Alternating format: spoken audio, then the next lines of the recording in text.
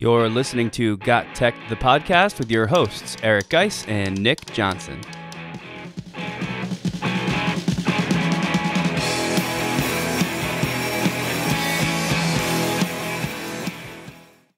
Welcome back to Got Tech, the podcast. This is episode 128 called Four Lesson Activities for Teachers to Try in 2023. In this episode, we'll play a lesson design game using our brand new Wheel of EdTech and share some of our New Year's resolutions. This is another episode you don't want to miss. Check it out.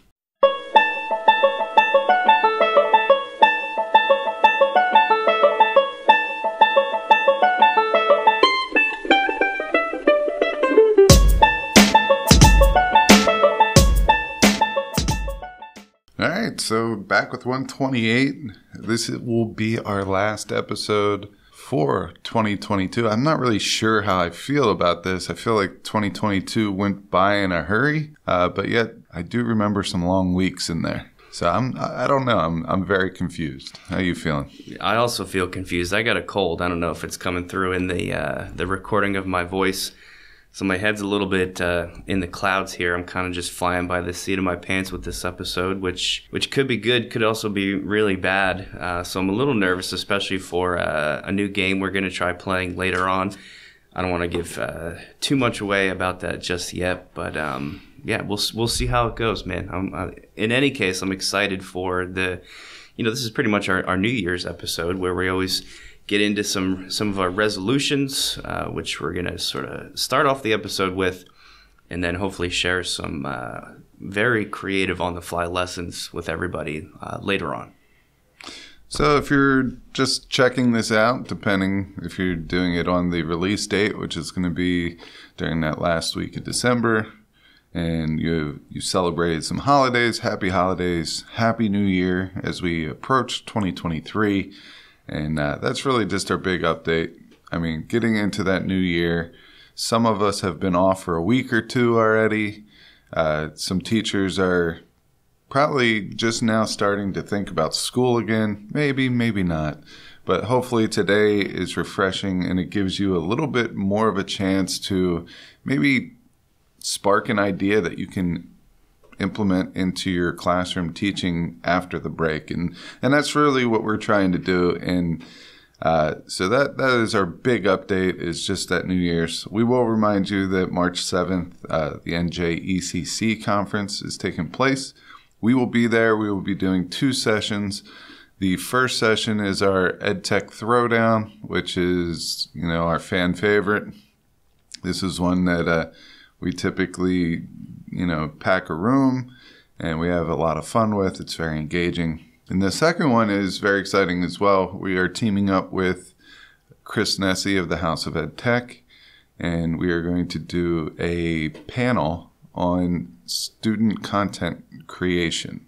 So, whether that's podcasting, blogging, artwork, whatever it may be, how do we make students content creators? And that's what that panel is all about. We'll answer any questions that you may have about that. We'll share some resources. It should be a good time. This podcast is a proud member of the Teach Better Podcast Network. Better today, better tomorrow, and the podcast to get you there. You can find out more at teachbetter.com slash podcasts. Now let's get back to the episode. So let's get into segment two here. Are the, the to kick off uh, the New Year's episode? Of course, what you're going to want to hear first is sort of what we're thinking for our our upcoming new year. And this we try to keep this you know half related to education and half not. Um, I'll kick it off maybe if you don't mind, uh, just with something I've been thinking about and you know what obviously what you want to try to avoid with your New Year's resolutions and is that thing where you you say like I'm going to finally start working out in 2023 on a regular basis and then you do it for like a couple weeks and life gets busy and you and you fall off the wagon. So I always try to pick things that like I know that I can do or that I know I was probably going to do anyway just so you don't get into that habit. And one of mine is um you know, this is more on the professional scale, but I really want to start doing more gamification and game element stuff uh, in my classes. It's it, I've always been attracted to the idea of like a classroom, like an ongoing classroom points system, and I think I'm going to start it up with um, little tokens that I actually print that have my class logo. And this came about because my students this year, there's a group group of them that are particularly uh, obsessed is not the word, but interested in the stickers that have my class logo on it. They all want them for some reason. So I was hoping to capitalize on that and make these stickers like available for them to earn basically for doing things in class. The other piece to this too, this is for the tech coaches out there, or even if you're just a you know a leader in your department, someone that people go to for help with lessons or technology or any of it. Um, using some type of a game element or point system to help pe- to help teachers learn about ed tech too. We were at a, a conference of tech coaches, just a local thing, uh, within the past few weeks, and a lot of the other tech coaches said that they do this type of thing. Their staff members can earn points or gift cards or just, you know different bonuses for showing that they learned how to use I don't know, let's say uh, GimKit, and they tried it out. They can actually get stuff for doing that yeah, I was hesitant about it because I'm not sure how that would would go.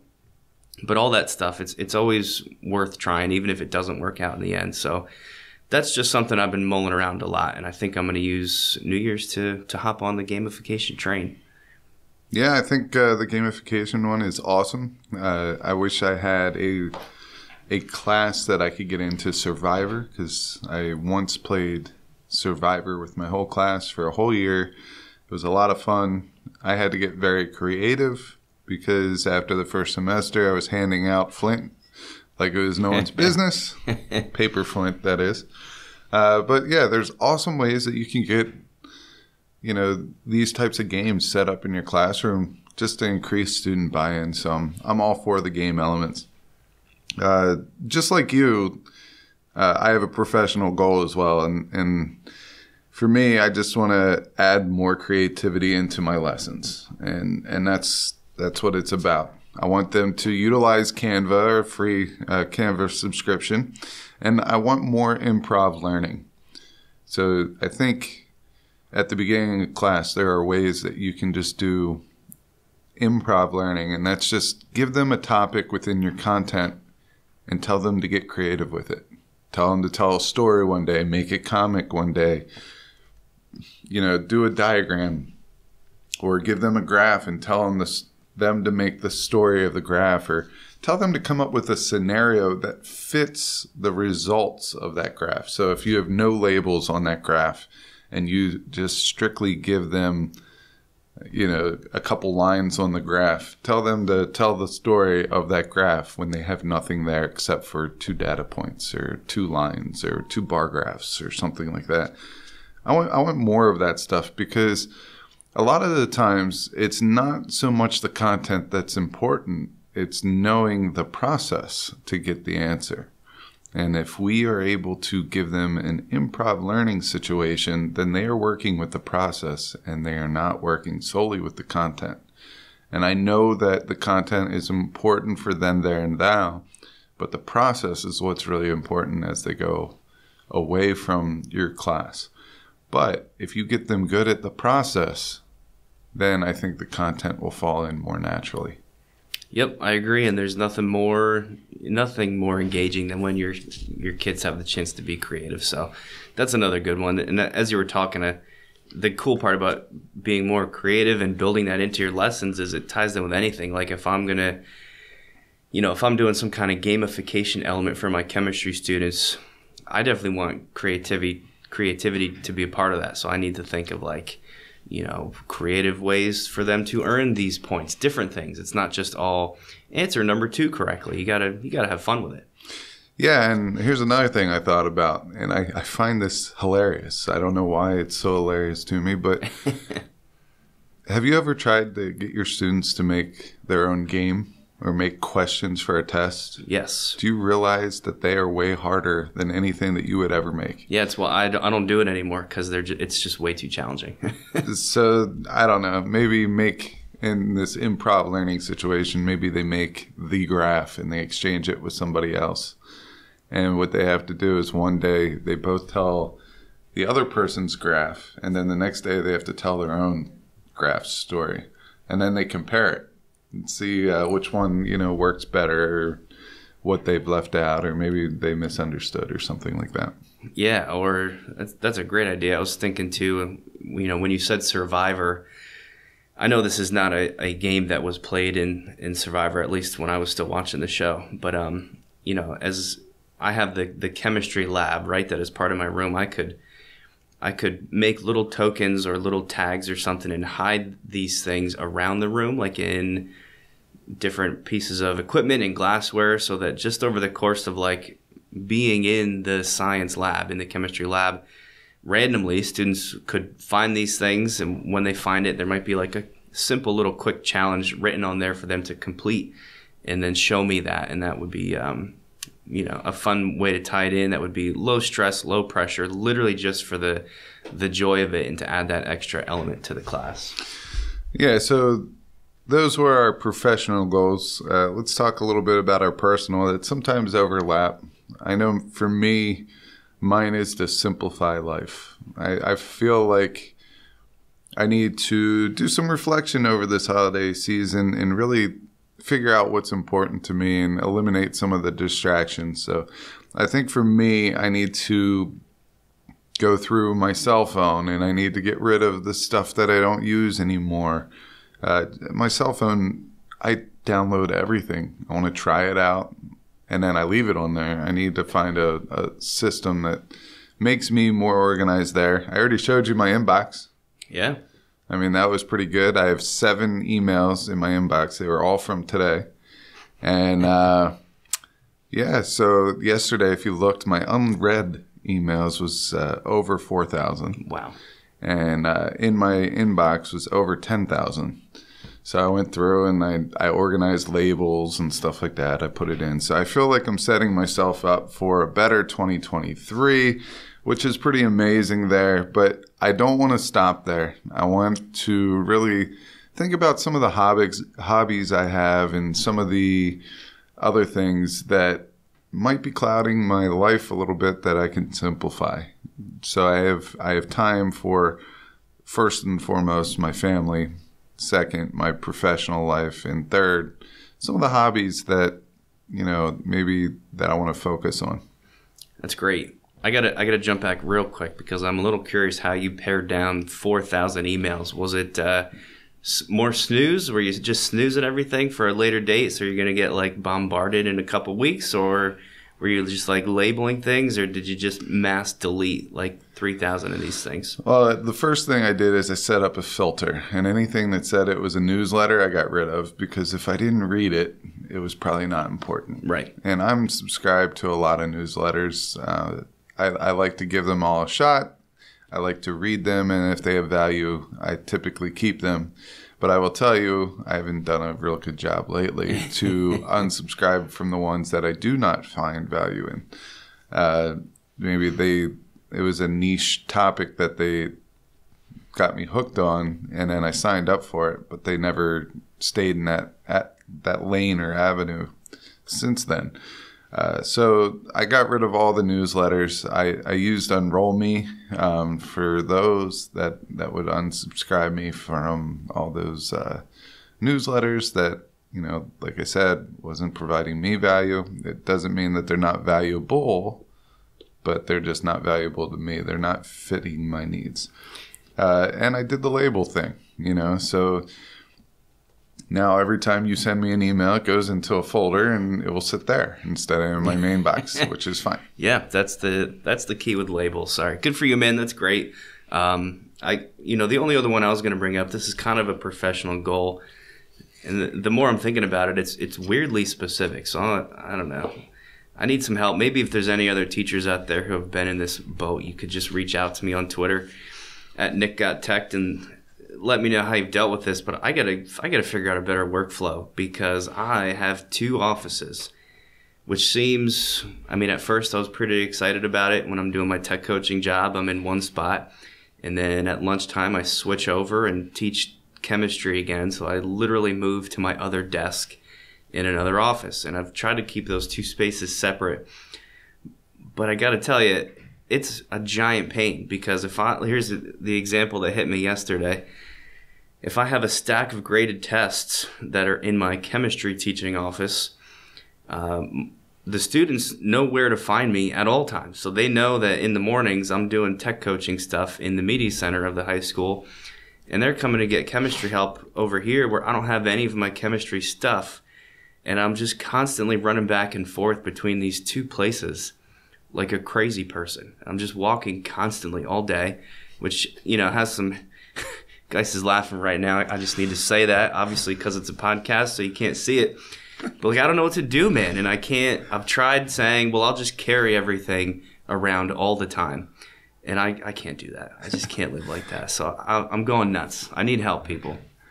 Oh my goodness, there are people that don't have a office in Utah. I know that's and that's the other element. is I feel to be honest with you, you don't need two offices. You need a work spot right? and you need an office. I would, I would almost suggest that you pare down and you decide which office you want to keep, Yeah, and that's it. And if you want a work spot, I mean, it's not like the two offices are a you go outside, you walk 25 steps, you go inside, you walk 20 steps, and you're there. they're pretty close. You're right. And bad. your classroom is in between the two. yeah. I mean, you ever see uh, Robin Hood Men in Tights when the, the guy goes into the little creek and he flips out because he can't swim? Mm-hmm. Yeah. Even though the, the creek is like three inches deep? Yeah. I feel like that's this type of situation. I'm the guy going, I'm hopping on the east bank, I'm hopping on the west bank. It's not that critical. Right. And you're the guy, you're little John in the water, little Johnson in the water, uh, flipping around like a flailing duck. That's good. I don't know. That's my two cents. I think you just need to uh, maybe wear a book bag. Yeah, you're totally right. It's just not even a big deal. It's just, in particular, maybe because it's like 10 degrees outside too. I think it's that you're afraid that once one goes away, then you're stuck. I'm a, very afraid of that. I don't want to give up either one because I like having a spot over there with the science people. So maybe what you do is you take the little desk in there, Yeah. and it's just your work spot, Yeah, maybe. and you give up the big one. I don't know. Okay. Anyway. all, good ideas. Thank anyway, friend. Nick's uh, you know first world problems continue, and uh, reach out if you want to chime in on his situation.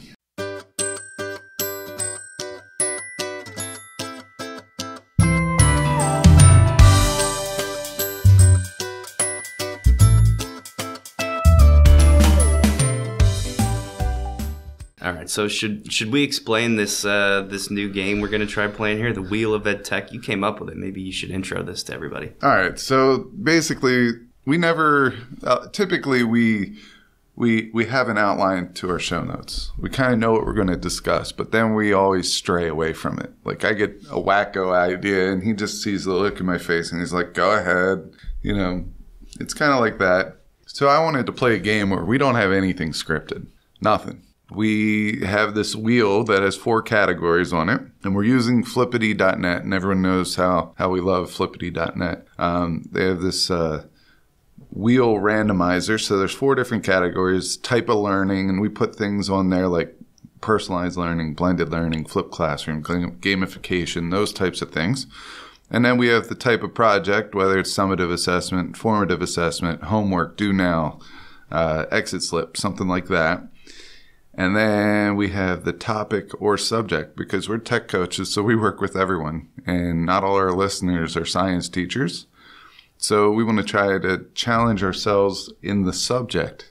Now, if we do this, which we are going to do it, have a little grace for us because we are not experts in anything but science. All right. But we know enough and we've worked enough with people and other topics that we can get some general topics down.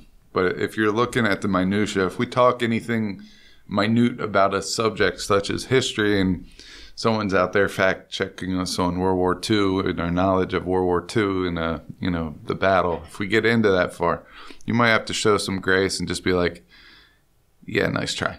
and then finally, we made it we made it even more challenging because we have a category where it says Ed Tech Tool Allowance, and we have one, two, three, four, and four plus. Now that just means you can't go over that number unless you get four plus. You have infinite amount. It means you can't go over that number. If it says one, you have to stick to one tool. And that's going to be difficult because we like the app smash a lot. So, and you can't cheat either. You can't say G Suite and use all the G Suite apps. Okay. Can't do it. Fair enough. All right. I'm just throwing out the rules. And here's the other rule uh, I'm going to spin for Nick. Nick's going to spin for me. And then what they're going to do is they're going to explain their activity. We're not pausing the recording, we're just going to keep going. So he has to work on this as we go. I mean, he can do some stalling tactics, which he probably will, knowing Nick. Oh yeah, expert staller. Uh, but for the most part, we're going to be off the cuff, and then we will type it into the show notes after the fact. Uh, once Nick goes, I will be able to, if I have any ideas to improve it or something I would change, I have the opportunity to say that. But we'll go through this uh, two each. I think is is good for the show. And uh, everyone out there can reach out to We Got Tech, Guise Got Tech, Nick Got Tech, and you can let us know how we did and if we should do this ever again. It could be a solid no here. I'm not sure, but does that sound about right? Yeah, that was expertly explained. The only thing I'm wondering is who who spins first and who goes first as far as uh, designing their lesson. You want to do paper, rock, scissors? Um, yeah, let's do it. All right. Rock, paper, scissors, shoot. Right. No, it's paper, rock, scissors. We got into this in Oh, boy. episode Here three. we go already. All right. Wait, I, we got to restart. He he like I, I showed him mine no, no. no. and then he actually had the one that would win It's been like and then he changed it to a tie. It was weird. Here we go. all right. Ah, he still beat me. Okay. Rock All right. beats rock beats scissors. So that means I'm gonna spin first, and you're gonna go first. So here we go. I'll, I'll spin. I'm gonna describe everything. Describe everything that has come up on the uh, on the, the wheels essentially to the listeners, so they know what to expect. And um, after I do that description, I'll kick it over to you to sort of take this away. So here we go. Spin number one. And the spinning has concluded. So for type of learning, we have blended. So you're coming up with a blended learning lesson uh, with a uh, summative assessment in the history subject with three EdTech tools. So I'm going to repeat all that blended learning, summative assessment in the history field with three different EdTech tools. Boy, that's that sounds like a tough one. History is what I was afraid of. So good luck, buddy. Oh, thank you. So now blended learning is such a vague, uh, you know, it's it's one of those hot topics out there, but it has unlimited use. I feel to it. So I got I got lucky with that. Summative assessment. A lot of people think of standardized tests, those types of tests. I'm not going to go that way. I'm going to go e-portfolio. Right, I'm just going to throw that out right now. In history, I think in history we have an awesome opportunity uh, with portfolios to incorporate really personalized projects where they can go do research and they can take what they know in two different areas. And then for the ed tech tools, I mean, for an e-portfolio, you need some type of a website, whether it's uh, I don't know Google Sites. You can use Canva now; they have single web page things. You could use whatever website maker you want. I'm going to go with Google Sites because I feel like a lot of people are familiar with that. All right, and in order to collect our research, um, I'm going to go with Google Forms and slides. Okay. All right, those are the three things that I'm going to do. So Google Forms is going to allow me to throw out surveys uh, just to collect data, and I'll bring all this full circle and tell you what the actual project is in a All right. second. Um, Google Slides, I chose that because uh, I can bring in video very easily there. I can bring in pictures very easy. Otherwise, I would go with Google Docs where I can organize everything. But I feel like Google Slides can do that and has more opportunity. So, my blended learning activity is going to be a summative assessment in history with those three. So, it's forms, it's slides, and it is um, Google Sites. I'm going to just stay in the Google Sites range. All right, so my history project. Around Memorial Day is a great time for this. Veterans Day is a great time for this. Uh, if you're in Canada, Remembrance Day is a great time for this.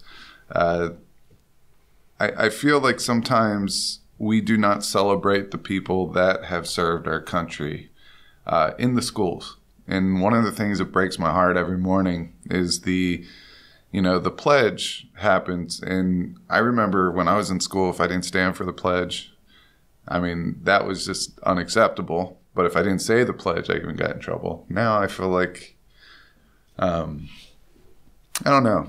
I, I feel like it's a, it's, it's not a uniform effort.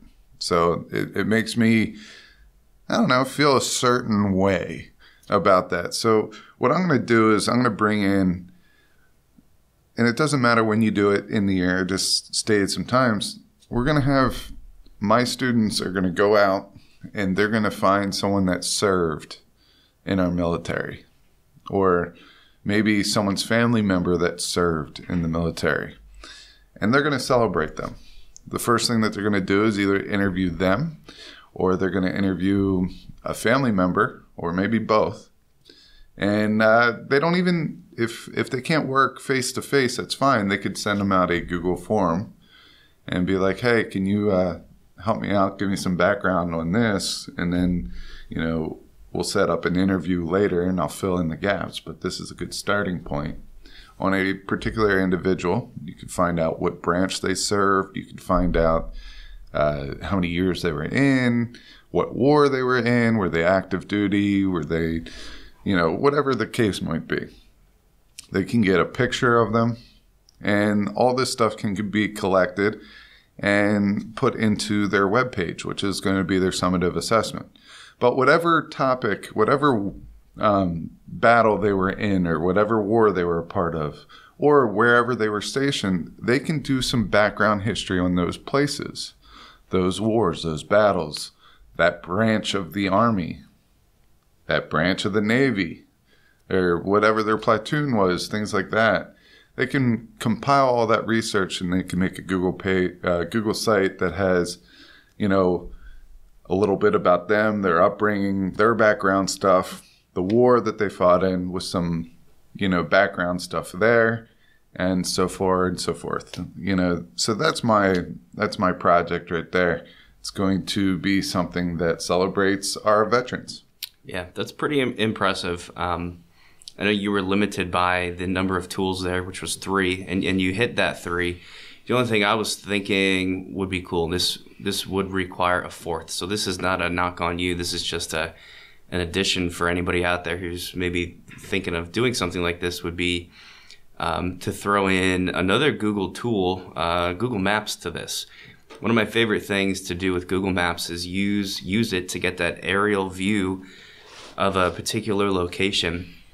And if you're interviewing a veteran that is then connecting to a, a certain conflict or war, um, even if you know this could just be used separate from the interview project too, but pull up Google Maps and get that you know that current overview of an area, and then have the students sort of screen snip that and overlay on top of it, say like in maybe part of their slides presentation or Google Drawings, overlay on top of it where things happened for you know for that particular military event. I think would be a really cool tie and in there's the connection to modern day and what things look like. This is especially cool if you live in a historic area where things happen because then students are seeing places that they know now and understanding exactly where um, historical events took place.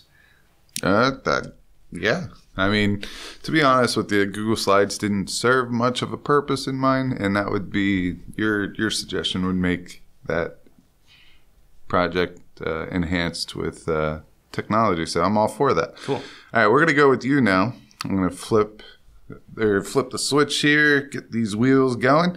All right, for your type of learning, this is right up your alley. He's wondering if I'm saying that facetiously or not, and I'm not. Flip classroom, Oh boy. right up his alley. It's a formative assessment. And in art, that might throw you a little bit. Right. And you can use two ed tech tools. So flip classroom, formative assessment, art, and two ed tech tools.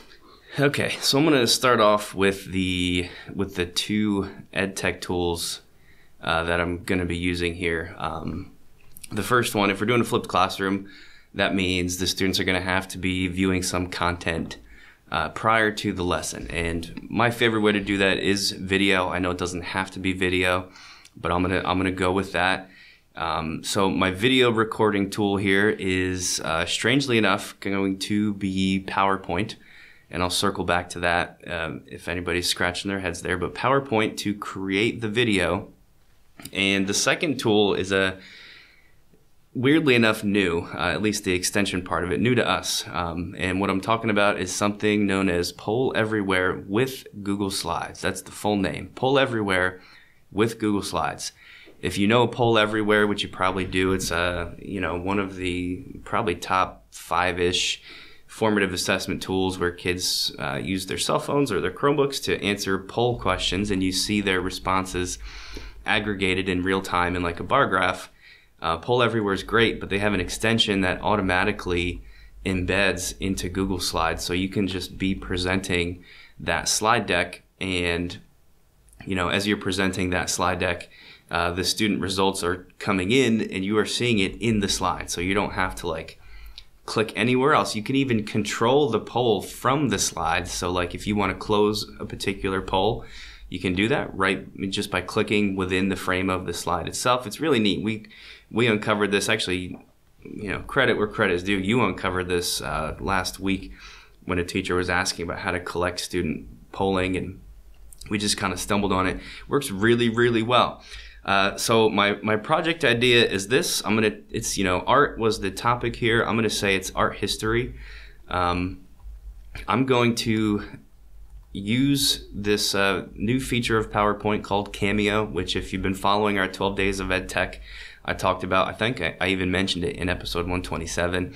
Uh, Cameo lets you make these really cool uh, screencast recordings of your PowerPoint slides where your webcam feed is kind of embedded in the slide itself and it just looks super professional. Uh, the background of each slide will be a different work of art uh, from a different you know, famous classic artist or even a modern artist, doesn't matter, whatever you're doing, and just kind of describing the the features of those different works of art to the students. We're talking really quick, like maybe a minute per uh, piece of you know piece of artwork for a, a total of like a five minute video. The students watch that before they come to class. When they get to class, there's some type of a grouping activity, no technology involved. They just sort of sit um, maybe with access to these artworks printed out on paper so they can look at them, jot down their ideas, discuss what they think about them. You know, as far as content delivery goes, you can tie in whatever you want here, whatever the focus is, whether it's the the lives of these artists or the style of the painting or the historical connections. That's up to you.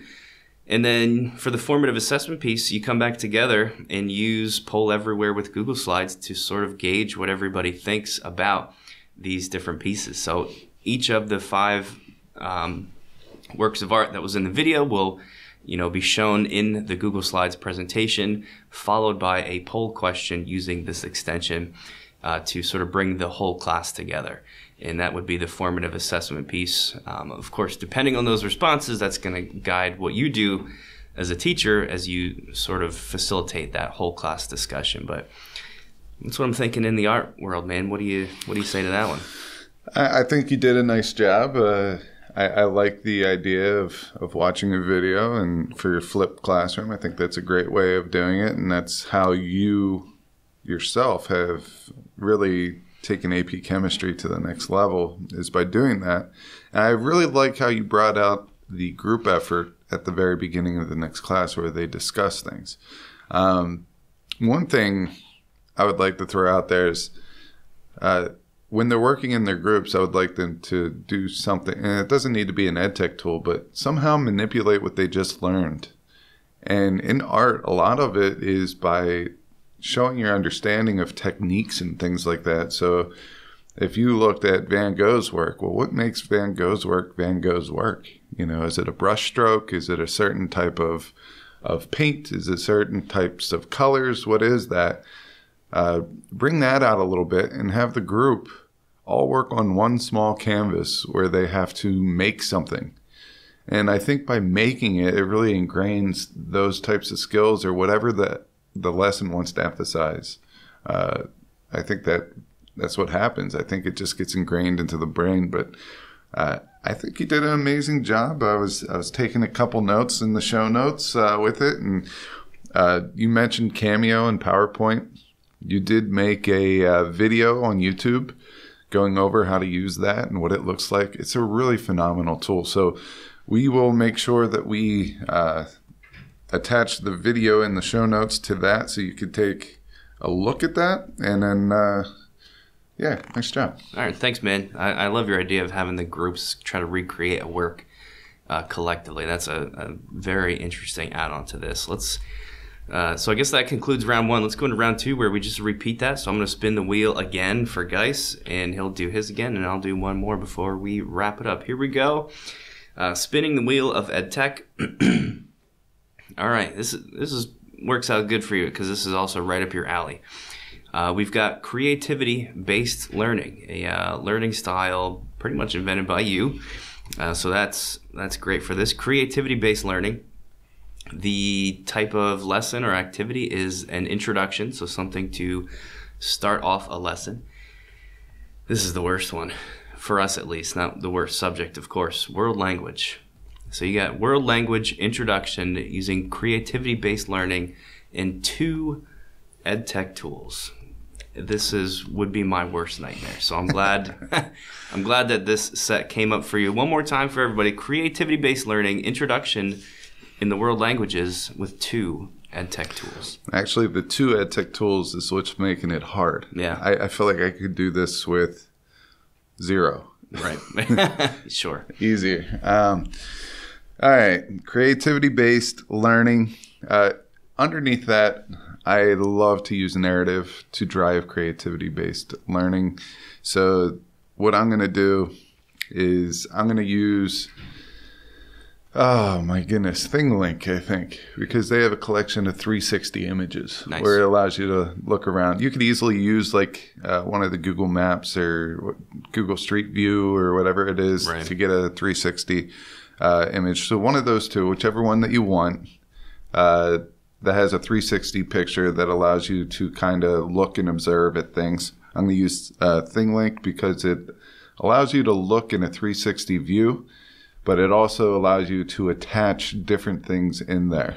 So you can attach text, you can attach a YouTube video, uh, you can attach uh, pictures, whatever you, you might want. So I'm going to use, for mine, I'm going to use ThingLink with the 360 video. Uh, I'm just going to use the running of the bulls as the uh, you know the topic for this in in Spanish class. Uh, and what I'll do is give them a 360 picture that I find somewhere, whether it's on their site or somewhere else.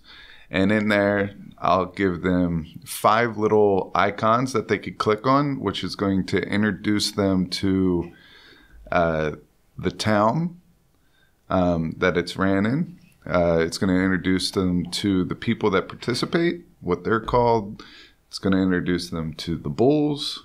It's going to introduce them to the purpose of the run, like the cultural linkage there.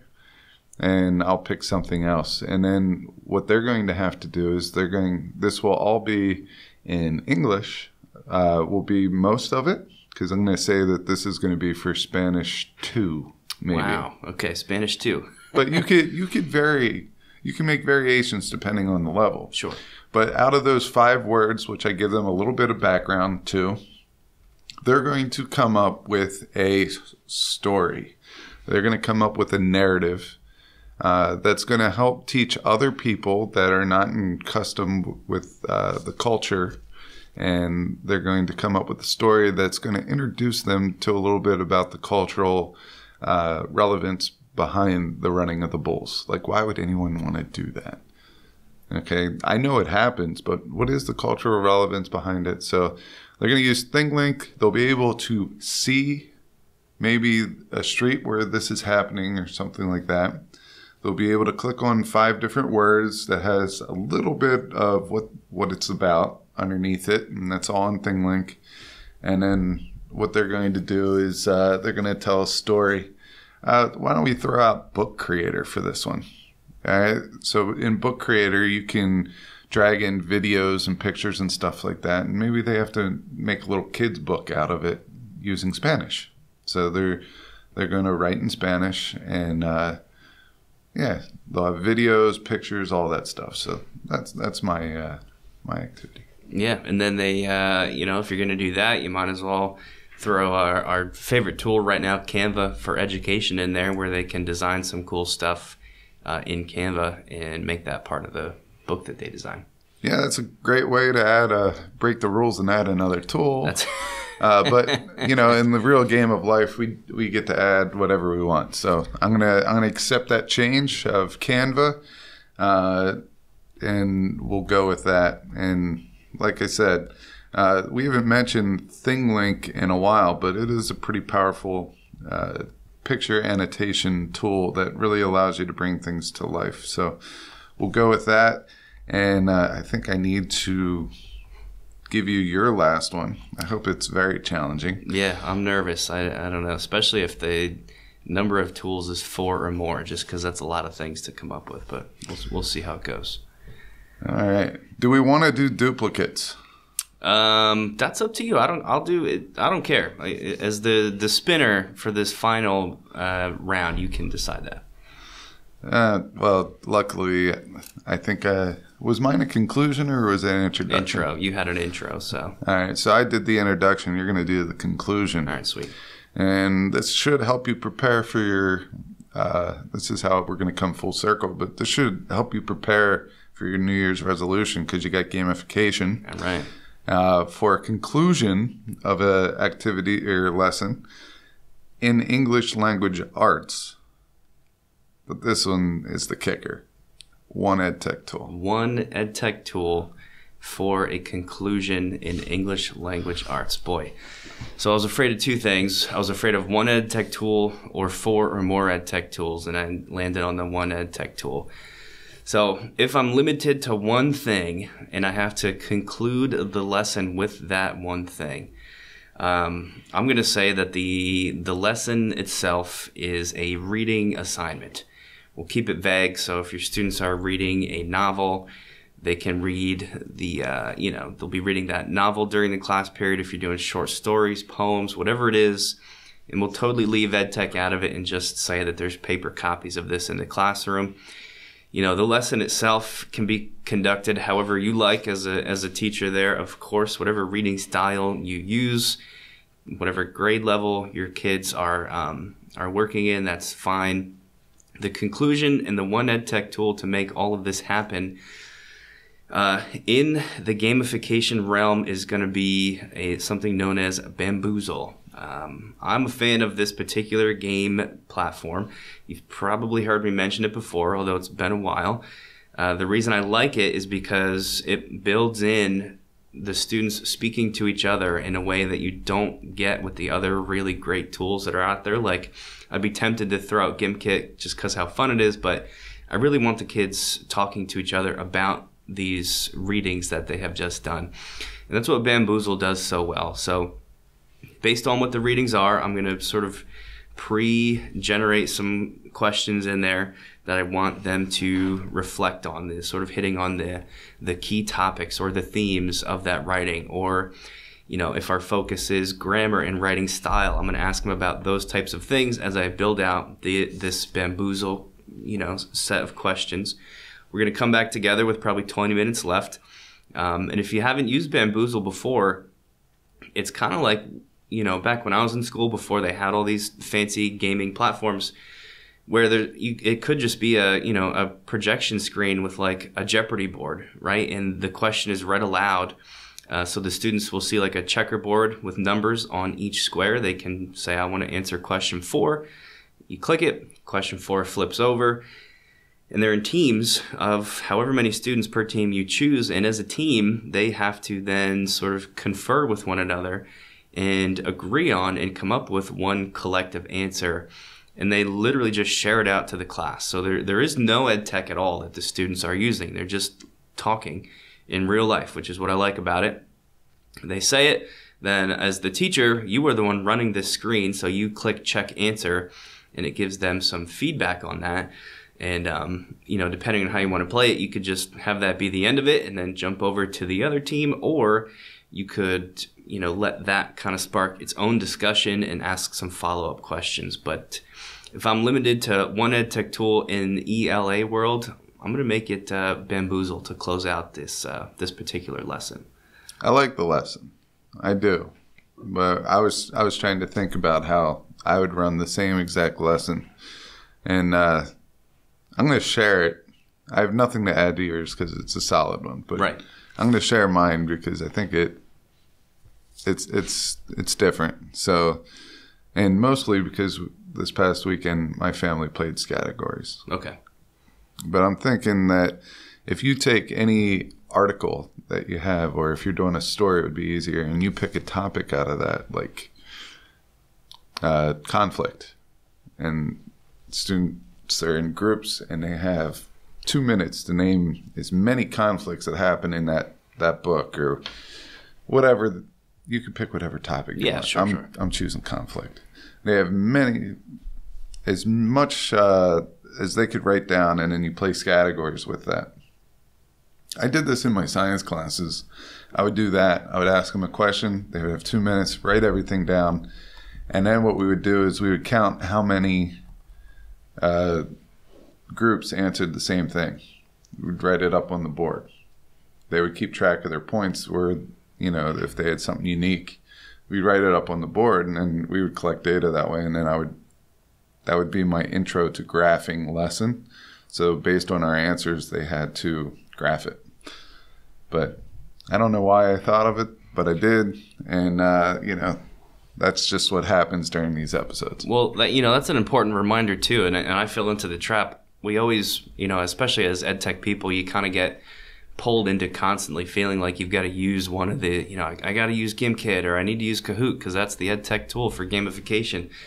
But like, you can just play a game and then build in the ed tech around that, like even if it's just recording answers in, in like a shared Google Doc or something. So that I'm glad you had a, a different spin on it there because you don't want to always feel like you you need to use one of these services to play a game. So excellent addition and uh, excellent job all around. I think that was cool. We got we got we hit history, art, world language, and ELA, and you know I, I think some pretty creative ideas across the board. So I'm gonna say we are both winners in this game. What do you think? Yeah, I think we did a great job, uh, especially for not having any of this stuff pre-planned uh, and just going straight through and recording. Good for us. There you go. Uh, I will say this: uh, a lot of times with the new year, everyone has one word.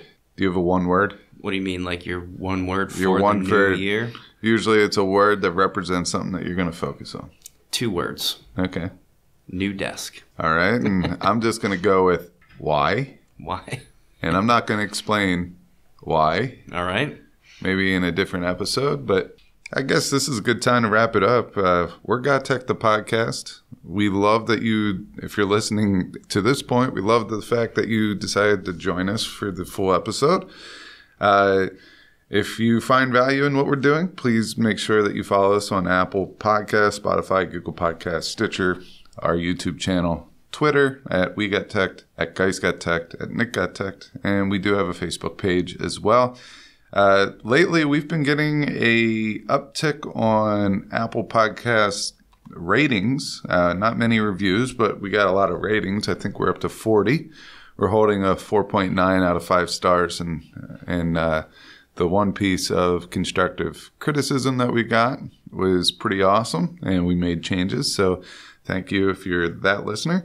Uh, we do appreciate any type of feedback. Uh, so, if you could, if you have time, go over there. Also, go to our webpage, gottech.com. You'll be able to find all our recent blog posts and videos, such as the 12 days of EdTech. I encourage you to check that out. Until next time, goodbye 2022. Welcome 2023. Happy New Year's, everybody. Stay healthy and live on. Thanks for listening to Got Tech the podcast. Remember to subscribe to our show and follow us at We Got Tech on Twitter so you can stay up to date with the latest episode releases, blog posts, product reviews, and PD announcements. You can also follow Guise and I individually at Guise Got Tech and at Nick Got Tech on Twitter or on Instagram at Nick Got Tech. Finally, remember to check out our website, gottech.com, where we post all our episodes, articles, and resources available to you for free. Until next time.